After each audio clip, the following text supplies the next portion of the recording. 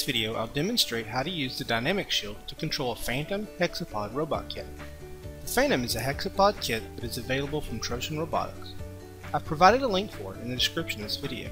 This one uses the AX18 smart servos. They're a little faster and more powerful than the AX12s. I've also added a gripper hand to the front of it. This hand is also available from Trossen.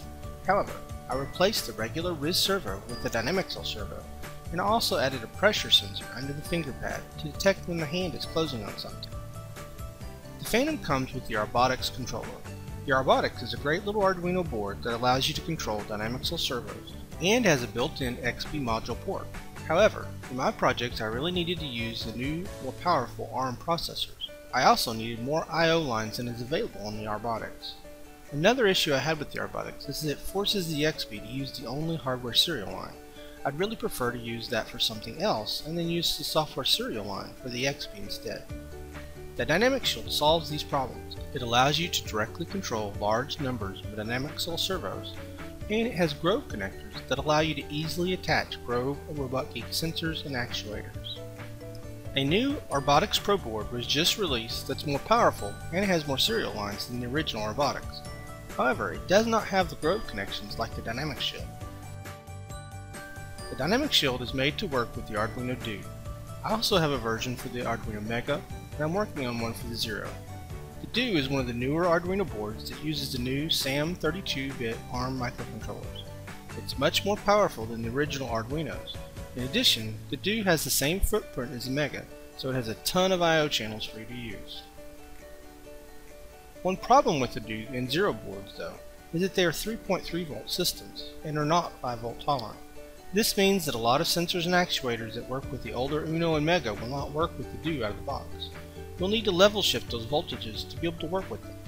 Luckily, the DynamixShield solves that problem by level shifting a lot of the I.O. lines for you, including all of the pulse width modulation lines.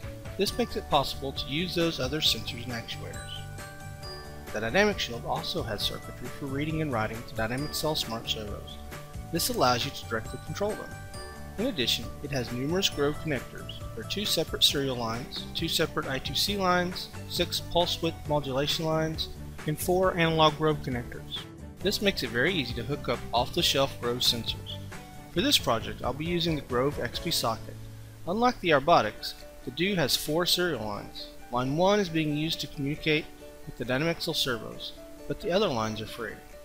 We'll be using serial line 3 to hook up the XBee for this project. However, you could just as easily connect it to one of the digital Grove connectors and use the software serial port for communication.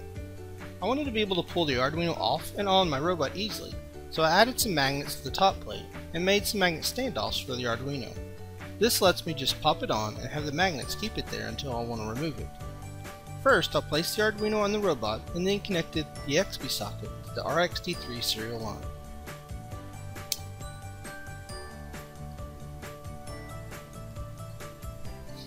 I've used a Dynamixel hub inside the robot to distribute the Dynamixel connections. Let's go ahead and connect that up to the shield.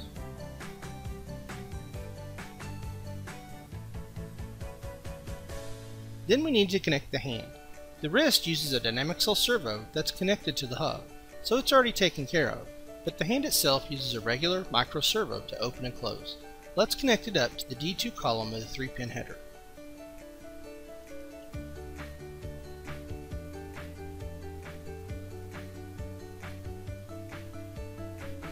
Make sure that you place the black wire at the top that's labeled ground.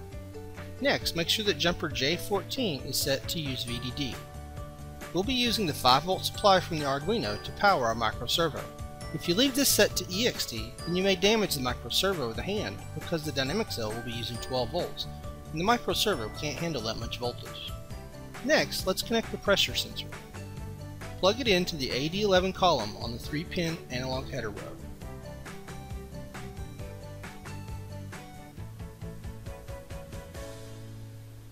Again, make sure that you put the black wire up top that's labeled near ground.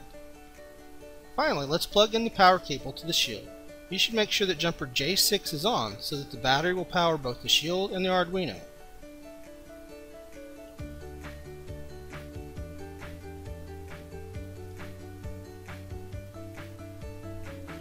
Finally, let's connect the USB cable from the computer into the programming port of the Arduino so that we can download our sketch.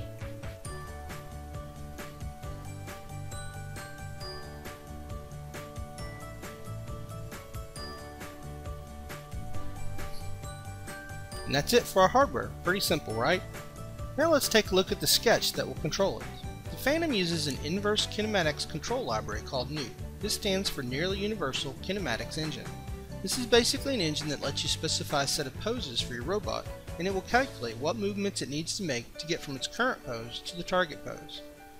You can use a tool called PyPose to create the pose information that NUKE uses, and then have it generate out a customized NUKE library for your particular robot.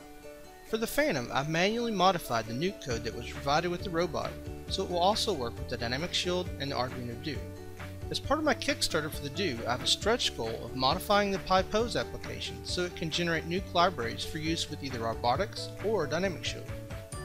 It would then be possible to easily use the DynamixShield to control any of the robots that currently use the Arbotix and PyPose. If you find that possibility as exciting as I do, then please support the DynamixShield Kickstarter so I can make it a reality. For the moment though, I'm using my hand-edited version. First thing that you need to do is copy the required libraries into the Libraries folder for your Arduino. You can find these by going into the DynamixShield repo, then the Libraries folder. You'll need the Bioloid Dynamixel serial, the Dynamixel serial, and the Commander Hardware serial or HS. You want to copy those, then on Windows, you go to the Documents, Arduino, Libraries folder, and you want to copy them in here. As you can see, I've already added these into my system. Now let's load the sketch that controls the hexapod. Go back to the Dynamixel Shield repo, then go into Sketches, and then load the Hexapod Mark II sketch.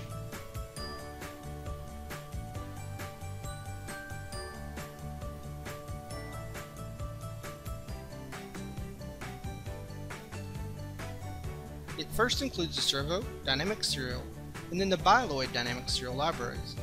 Then it includes the Commander hardware serial and NUKE libraries. It then turns on the AX18 options with the define. If your robot instead uses the AX12, then you want to comment this back in and uncomment out the line above it. It then has a define to include the gripper, if you don't have the gripper with your robot, then you want to comment this out, and that will take out all the code related to the gripper and wrist. Next, it defines a bunch of constants and stuff that are needed the, to get the gripper working correctly. Then it defines a Dynamixel serial class with serial line 1. Then it defines a Bioloid Dynamixel serial, passing in the Dynamixel serial class we just created. Then it instantiates the Commander hardware serial line using serial line 3. In setup, it first calls configure servos. This starts out by creating a debug serial line.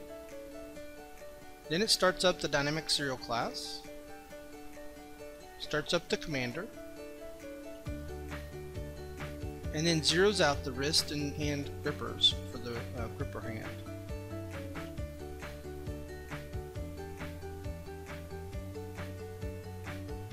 Then wait just a little bit and checks the voltage for one of the servos and make sure it's greater than 10 volts. If it's not, then it sits and waits until that happens. This is to ensure that we don't try and run the robot if the voltage is too low on the servos. Then it reads the current position of all the leg joints and slowly moves the legs to reach the default standing state.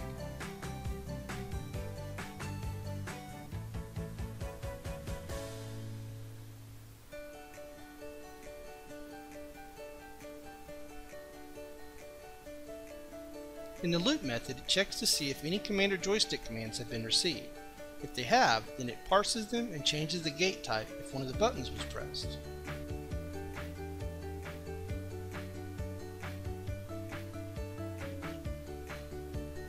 And it sets the X and Y speeds when the joysticks are moved.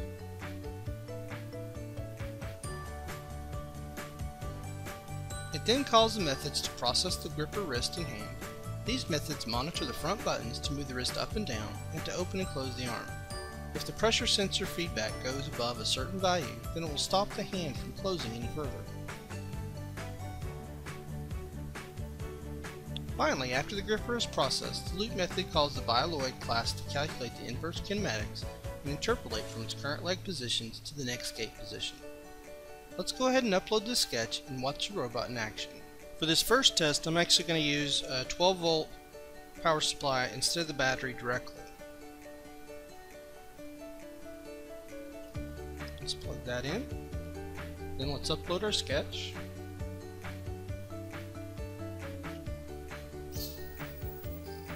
And you can see that our robot legs have gone up into their standing state. So it looks like we're good to actually try and test this robot out. Let's go ahead and do that next.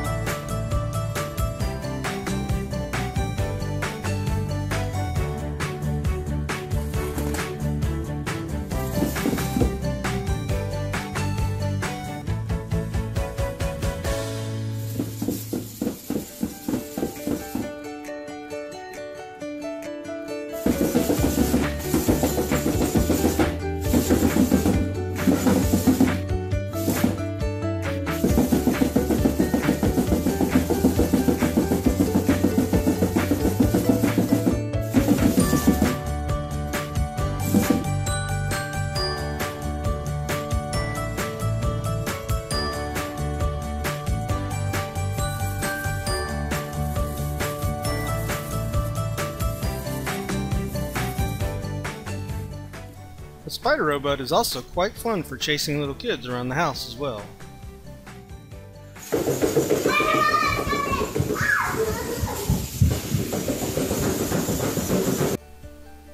If the DynamixShield is something you might like to own, then please support my Kickstarter campaign so I can get them produced commercially and make them available.